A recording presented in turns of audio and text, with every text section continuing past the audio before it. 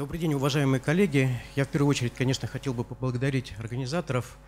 Э, очень интересная конференция, отличная погода, прекрасный город, богатый не только культурными, но и медицинскими традициями. Я буду говорить сегодня о небольшой работе, которая явилась результатом э, случайной находки.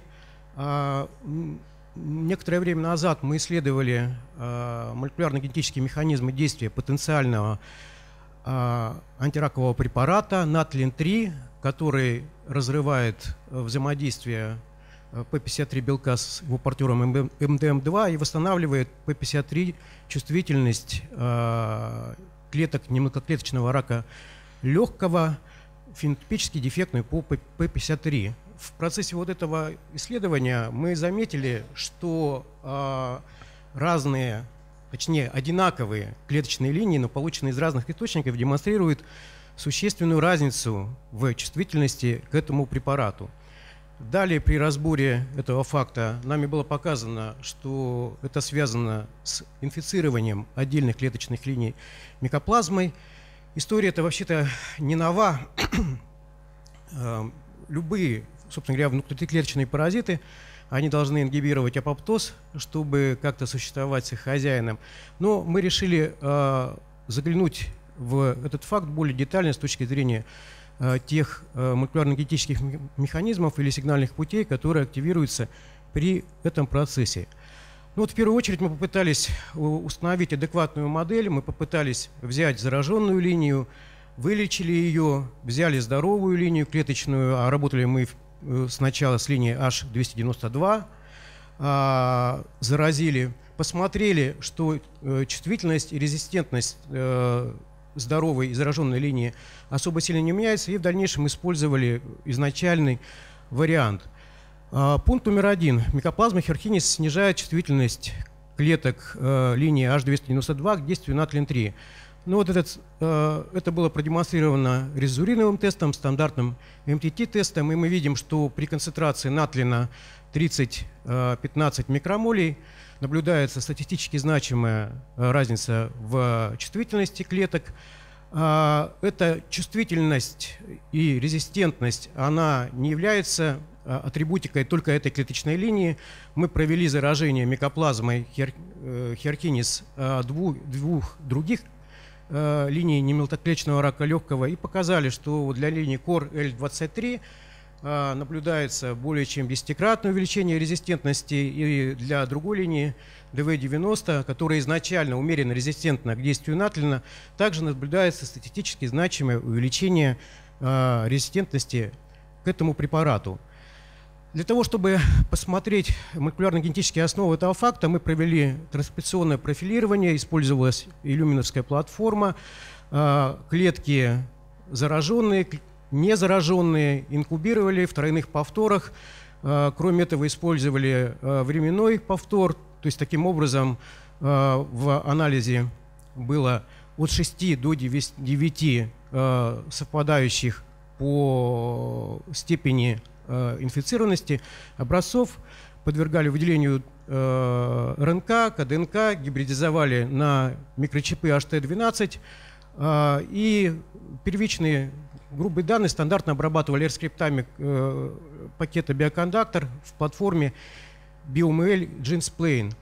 А на первом этапе нами был применен достаточно такой традиционный подход по выявлению дифференциально экспрессируемых up и down регулируемых генов. И кроме этого мы провели э, исследование представленности сайтов транскрипционных факторов в промоторах up и down регулируемых генов. В результате этого анализа нами было идентифицировано 64 down э, регулируемых и 163 up регулируемых генов. Они условно да, разбивались на несколько групп. Они приведены здесь на этом слайде. Все они достаточно очевидны. Это ответ на интерфероны, это воспаление, антиоксидантный ответ, метастазирование, прогрессия опухоли. И две даун-регулированные группы – это эпителиальные маркеры и негативная регуляция эпителиальной мезенхимальной транзиции. Этим группам соответствовали три основных трансcripционных фактора, которые были высоко статистически значены, представлены в промоторах а, как апрегулируемых, так и даун-регулируемых генов. Мы попытались построить такую э, условную модель, объединяющую все эти сигнальные пути. В центре этой модели лежит рецепционный фактор НФКБ, так как, в общем-то, из того, что мы э, детектировали на первичном этапе, именно этот фактор имеет э, активности в сторону антиапоптотических генов. Э, процесс начинается с заражения микоплазмы. Микоплазма продуцирует как липопептиды, так и реактивные э, э, радикалы кислорода и также а, какие-то, может быть, нам неизвестные низкомолекулярные и высокомолекулярные соединения могут оказывать активацию НФКБ фактора через толк-лайк рецепторы, либо э, через другие системы сеттинга. Активированный НФКБ имеет в данном случае двойное действие. Он активирует Воспалительные цитокины, в данном случае здесь показаны те, которые были э, высоко статистически значимо активированы. В нашем эксперименте провоспалительные цитокины активируют ЖАК-тикстат сигнальный путь, который в свою очередь обратно активирует НФКБ. Таким образом мы видим здесь позитивную э, обратную петлю. В то же время НФКБ является стандартным индуктором антиапоптических белков, среди которых мы видим классические BCL, EIP, TRAF и некоторые другие. Однако вот наряду с э, очень увлечением экспрессии генов НФКБ, очень э, достаточно хорошим таким э, моделированием тех сигнальных путей, которые мы выявили, статистически значимо обогащены в нашем сете дифференциально экспрессируемых генов, мы видели также увеличение э, экспрессии генов, регулируемых э, трансляционным фактором P53, что, в общем-то, тоже не является сюрпризом, что, в общем-то, свидетельствует об активации P53 э, зависимых путей апоптоза в клетках, зараженных микоплазмой. При этом э, частота сайта встречаемости для этого трансляционного фактора была также высоко статистически значимо обогащена в параметрах э, апрегулируемых генов и, собственно говоря, в дальнейшем для прояснения вот этой вот э, ситуации мы поменили, попытались применить другой метод анализа, так называемый апстрим-анализ. На пару слов я хотел бы сказать, собственно говоря, о сути этого, этого метода. Ну вот стандартный вопрос к, залу, что видится на этой картинке. А, кто-то говорит, что здесь виден слон, кто-то говорит, что здесь видна посудная лапа, кто-то говорит, что здесь видна разбитая посуда. Но по сути дела, вот это очень хорошая аналогия того, как нами выполняются эксперименты по профилированию тех или иных клеток, органов под воздействием тех или иных факторов. В данном случае, да, то есть слон – это тот самый фактор, это может быть заражение, это может быть э, цитокин, какое-то воздействие, а посуда, она представляет собой, собственно говоря, тот рецепционный профиль, множество генов, которые мы видим. И, по сути дела, чаще всего мы видим именно посуду, мы пытаемся ее каким-то образом анализировать, э, измерять размер тарелок, коррелировать их с той патологией, которую мы изучаем. Однако, на самом деле, очень часто мы не видим вот этого самого слона. Но, безусловно, если сюда придет какой-нибудь, например, опытный криминалист, он сможет по тому, как разбросана посуда, как она побилась, идентифицировать когда и, и кто и как пришел и, собственно говоря, сделал это действие. Но вот здесь вот подход информатический, который мы э, пытались применить, он сходнее действием вот этого криминалиста. А, в, при данном подходе анализируются а, вместе up и down регулируемые гены, мы их противопоставляем неизмененным генам, которые здесь изображены как вот константные. Далее а, производится анализ а, промоторов этих генов для выделения того набора трансляционных факторов, который может статистически значимо разделять вот эту вот группу и вот эту группу. А далее с использованием э, баз данных, аннотаций, которые здесь чрезвычайно важны, мы можем попытаться идентифицировать тот набор киназ, которые активируются, приводя к активации трансляционных факторов, приводя, соответственно, к этому профилю, и далее, поднимаясь вот так по, собственно говоря, синтальным каскадам, э, идентифицировать вот того самого слона, да, то есть который, собственно говоря, и пришел и вызвал вот это вот изменение, которое часто достаточно неспецифична. Идентификация этого слона или ключевого фактора, или кейнода, она позволяет, во-первых, рассматривать эту точку и как диагностическую, и как мишень для препарата, и также, собственно говоря, позволяет рассуждать э, более точно о тех молекулярных механизмах, которые привели к наблюдаемым нам изменениям э, белков, э, микро-РНК, РНК и так далее. Ну вот, собственно говоря, данный слайд, он немножко перегружен, он не такой страшный, как кажется, я постараюсь его объяснить словами. Он демонстрирует часть этого анализа. Здесь мы видим входные Э, верхние факторы, здесь мы видим транспрессионные факторы, то есть вот это, тут она просто положена, вот эта вот пирамида.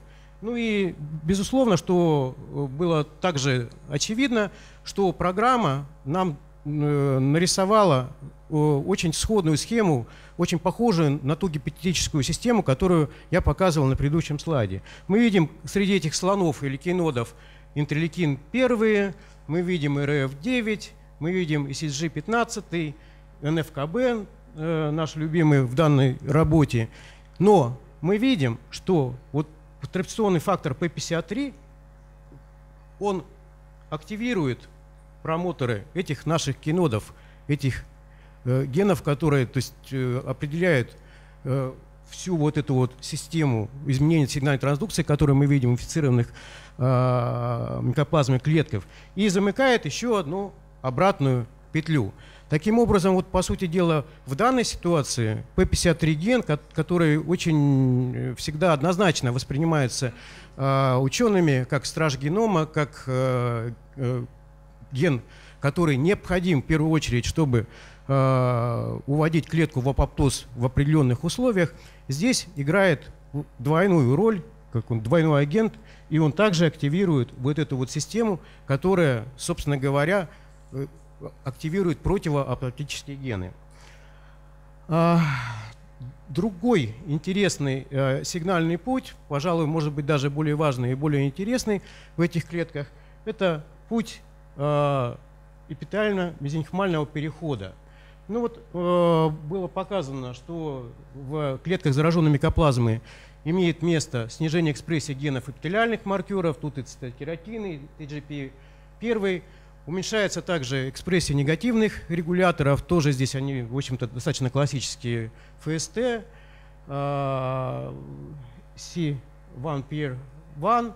А, повышается а, уровень а, факторов, принимающих участие в регуляции TGF бета-сигнального пути, в частности, ген, кодирующий МИК-1, фактор, который активно участвует в процессе прогрессии опухоли и метастазирования, повышается в 5 раз – мы видим активацию SMAT-3 сигнального пути. И кроме этого, ну, мы знаем из предыдущих работ, что НФКБ, он также способен повышать экспрессию э, транскрипционных факторов SNAIL и ZEP, которые являются, собственно говоря, основными такими игроками, исполнителями вот этого самого перехода. Мы попытались положить э, несколько наиболее интересных для нас генов на аннотированный вручную и с помощью программы средств Pathway эпителиального мезенхального перехода. И вот мы видим, что на части этого сигнального пути они тоже очень хорошо кластеризуются. Если мы посчитаем статистическую значимость, то она будет в, в 12 знаке. Э, мы показали также, что э, такой переход имеет место быть функциональным тестом, по способности э, клеток образовывать колонии в мягком агаре, мы видим, что инфицированные микоплазмовые клетки делают это ну, достаточно эффективно. Однако вот э, в процессе работы у нас возник естественный вопрос. Но вот эти данные были получены на клеточной линии H292. Да? А как оно будет вообще-то, если мы возьмем другую клеточную линию, а, может быть даже и другой тип рака. Чтобы как-то разрешить этот вопрос, мы провели заражение двух других клеточных линий, существенно отличающихся и по скорости роста, и слегка по морфологии, и, в общем-то, по а, определенной иммунохимии, и провели а, измерение экспрессии с помощью количественного реал-тайм, ПЦР, восьми генов, которые нам показались такими, ну, то есть, во-первых, они хорошо дифференциально экспрессировались, продукты их, они имеют совершенно четкую э, доказанную роль в эпитально-мезенхимальной транзиции, и э, оценили корреляцию полученных вот профилей экспрессии методом множественным Пирсона между H292 линией и, собственно говоря, инфицированными другими клеточными линиями. Ну и мы видим, что вот для кор L23 Э, r квадрат равен примерно 0,8, то есть это не сказать, что это отлично, но это, в общем-то, уже э, значимый результат. А вот для другой линии DV90 мы получили корреляцию э, 0,91. То есть это не доказывает, безусловно, что э, схожий профиль экспрессии будет наблюдаться всегда при трансфекции микоплазмы разных э, клеточных линий или клеток от разных индивидуумов. Но, безусловно, свидетельствует, что мы можем рассчитывать на э, такое развитие событий. А, все это было, в общем-то, э, сделано на клеточных линиях, ну и мы понимаем, что э, ингибирование апоптоза которое э, мы наблюдали при добавлении препарата натрин-3, оно может быть, в общем-то, наблюдаться и при действии других препаратов. И мы действительно, когда использовали циклофосфамид и доксирубицин, также наблюдали примерно э, схожий процесс. По-видимому, такой процесс, наверное, можно предположить, что он бы мог наблюдаться и у пациентов при э, заражении их микоплазмой, ну, в частности, заражение клеток опухоли. Кроме этого, пенхилиальная мезенхимальная транзиция, она сама по себе увеличивает резистентность клеток как химиотерапии, так и, собственно, стимулирует инвазию и метастаз.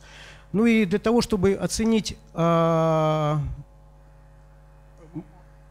насколько этот факт имеет место быть, мы просто попытались в качестве первого этапа оценить, а насколько часто а, клетки опухоли реальных пациентов содержат микоплазму. Ну, в данном случае мы рассчитывали изучать именно ДНК микоплазмы и собирались использовать для этих целей количественный реал-тайм ПЦР.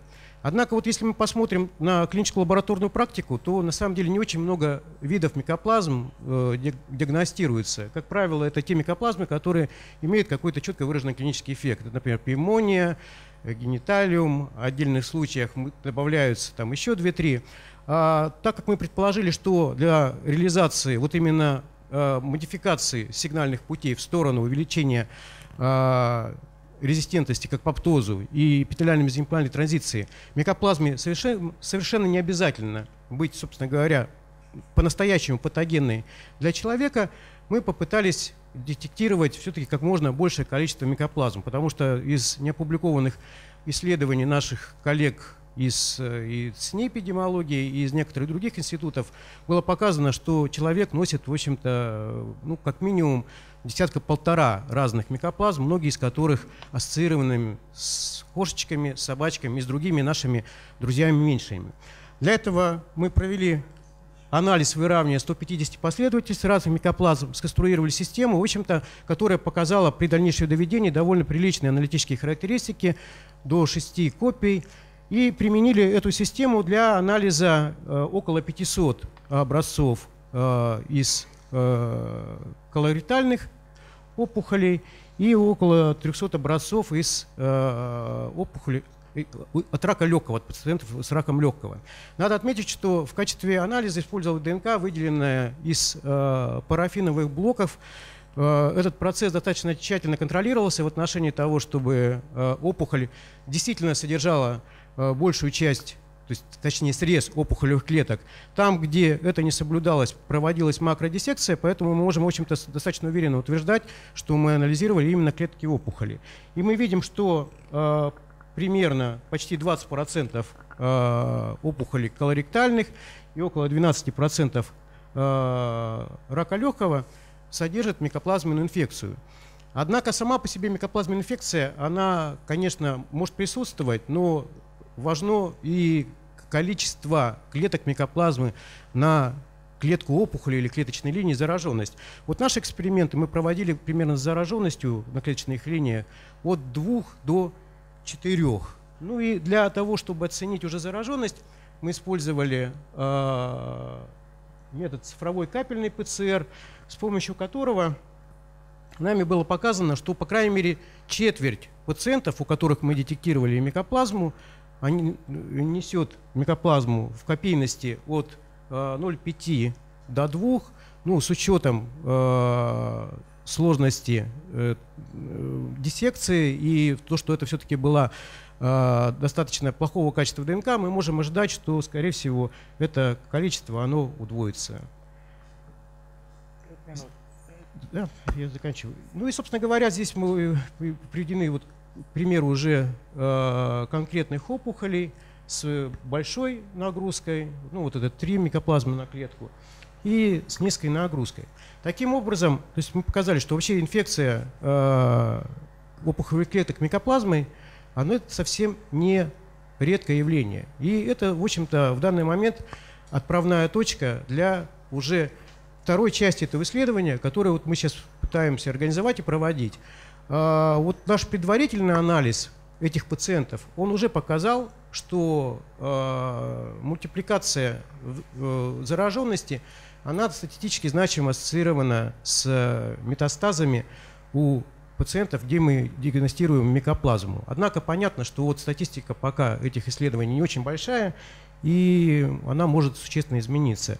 Ну и я, собственно говоря, не буду читать заключение, потому что его легко прочитать со слайда, но хотел бы отметить, что считаю, что вот наиболее, как, как говорится, важными результатами вот этой побочной работы, наверное, можно назвать, что э, стимуляцию э, достаточно четко выраженную эпителиально-мезенхимального перехода э, в, по крайней мере, в клеточных линиях, да, мы увидели и то, что, в общем-то, достаточно большое количество пациентов заражено э, микоплазмой, и это может в идеале влиять как на результаты химиотерапии, так и на прогноз, что, в общем-то, уже ранее было показано для колоректального рака и описано в отношении препаратов на основании флюорурацила.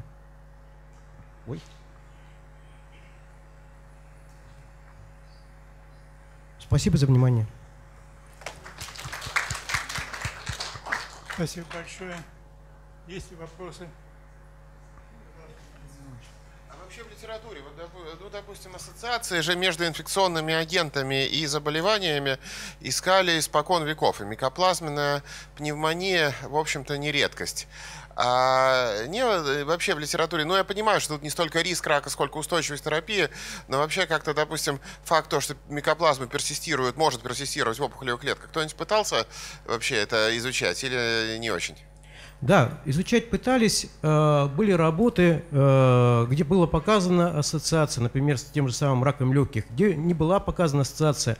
Основная вообще проблема этих работ, наверное, почему они немножко, их очень тяжело анализировать, потому что они во времени были очень разнесены. И в, отдельных случаях анализировалось, например, э, делали ФА на микоплазму, что, в общем-то, на самом деле, как бы такой достаточно странный подход.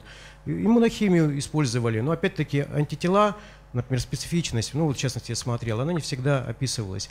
А, экспериментально была работа, которая делалась, собственно говоря, в Гамалее при участии э, того же Гудкова, да, где показывалось, собственно говоря, что микоплазма может стимулировать трансформацию э, фибробластов да, в, ну, собственно говоря, в, в аденокарциному. А, но, э, в общем-то, таких вот системных исследований, которых мы, мы могли бы сказать, да, вот это точно показано и точно сделано, их, к сожалению, пока крайне мало. Спасибо. Я позволю себе задать один вопрос. Скажите, пожалуйста, а как вот вы трактуете активацию апоптоза по 53 зависимого? Он как бы немножечко выбивается из э, тех закономерностей, которые для микоплазмы выявлены у вас? Ну, вот если мы вообще э, ну, пытаемся рассуждать об активации тех или иных сигнальных путей, ну, тот же самый НФКБ, он много чего активирует и имеющие отношение к пропаптетическим генам. Здесь в основном фактически э, мы имеем дело взаимодействия разных частей и разных сигнальных путей. И по сути дела, ну вот это э, может быть такое субъективное да, мнение, но оно, в общем-то, э, обсуждается и нашими западными коллегами. То есть мы э, очень часто сигнальный путь он фиксируется в каком-то состоянии именно замыканием каких-то регуляторных петель. Э, собственно говоря, вот в нашей работе мы поставили как раз себе, ну, некоторая, какой может быть э, очень условная цель, может она на самом деле такая примитивная, э, найти вот эти петли, ну, собственно говоря, которые я и показывал по докладу. Но в любом случае, так же, как и, например, правоспалительный ответ, всегда есть обратная регуляция, у вас индуцируются и какие-то регуляторы обратного. Наверное, именно так. Скажите, пожалуйста, а что известно про микоплазму в легочных макрофагах? И, скажем так, следующий за этим вопрос. А что первично, что вторично? Микоплазма появляется, когда уже опухолевый процесс пошел и на каком этапе? Или она контаминирует сначала и помогает инициации опухолевого процесса? Вот э, по поводу легочных макрофагов я вам не отвечу. Э, по поводу легочного, ну то есть эпителия, да, микоплазма, ну то есть вообще она может существовать как бы внутриклеточно и примембранно, да. То есть вот для легочного эпителия, ну мембранная локализация микоплазмы, она была показана. Вот грамотно сказать э, насчет макрофагов я вам, ну то есть сказать не могу. То есть мы такую литературу ну, не пытались пока искать. Я еще раз повторяю, для нас это было такое вот побочное некоторое исследование, которое мы сейчас вроде как заинтересовались и пытаемся из этого сделать что-то, ну, такое любопытное. А относительно, а, что является, ну, то есть индуктором, да, что, что нет, Наверное, ну, то есть можно сослаться на работы ну, того же самого Гудкова, где микоплазма является фактически, заражение микоплазмой дополнительным фактором ну, то есть который э, доводит ну, то есть сумму вот этих вот изменений, да, то есть до критичного, когда уже происходит трансформация. То есть, в общем, ну, так образно я бы сказал, это еще одна соматическая мутация, да, до перехода клетки, да, потери контроля уже над пролиферацией. Ну, например, вот можно так интерпретировать. В этом случае, конечно, мы можем рассматривать это как, как часть причины, то есть, ну, говорить о первичности. Но экспериментально, вот не мы этого дела не показывали, ну, я вот работу по легочному, ну, то есть эпителию не помню. Спасибо большое. Я просто могу себе предп... могу представить, э, предположить, э, э, основываясь на то, что вы сказали, что есть на эпителии сверху на мембране сидит микоплазма, а макрофаги ее видят, потому что рецепторы для всего чужого есть, то они дополнительно выбрасывают цитокины, которые дополнительно повышают мутагенез. То есть у вас инвиво будет еще более сложный процесс, завязанный на, восп... на вот это вялотекущее воспаление. Согласен, да. А потом, когда это, эти радикалы или цитокины усилит трансформационный процесс, микоплазма уже попадет и внутрь. То есть, э, ну... делящихся клеток интенсивно делять. То есть я могу себе представить, что там просто двоякая будет, двоякий механизм. Спасибо. Спасибо.